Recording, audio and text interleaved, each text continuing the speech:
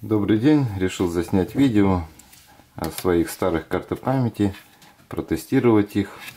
Мне пришли с Китая несколько карт памяти, по-моему, две или три, три карты памяти. Одна из них вот Мигза, 8 гигабайт. Протестировал я ее, было видео. Также пришла карта памяти фирмы Nitec. На 64 гигабайта записываю на фотоаппарат на свой. Уже Два круга прошли, полностью запись прошла. Проблем нету, скорость высокая. Например, у этой вот Мигза 8 гигов, они, по-моему, разные там есть. Рассветки. В ней скорость чтения 81 мегабит в секунду. И скорость записи где-то 52-53. Все тесты я делал через переходник, точнее картридер Transset пятой модели USB 3.0 э, все карты памяти отформатированы FAT32 чтобы одинаково были.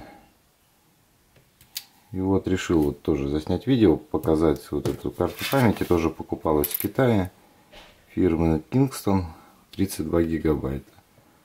Четвертый класс скорости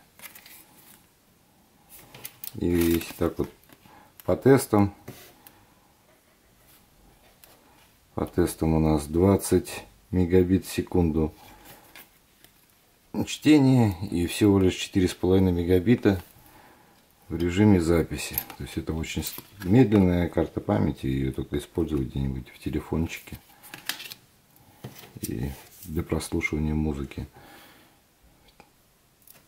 То есть если эту взять карту памяти у нее скорость записи 50, то у этой всего даже и 5 нет. Но эта фирма более известная. Этой флешки, наверное, года два. Работает тоже без проблем, но скорость записи очень маленькая. И по цене они, наверное, вот Мигза, она ну, намного дешевле как-то память этой фирмы комментариях, ну, видео я смотрел, комментарии, как бы вроде никто не жалуется на эти карты памяти. Работают они без проблем. Так что, если будут вопросы, ну, написано вот эта карта памяти Made in Taiwan. На этой, ну, типа Япония написано.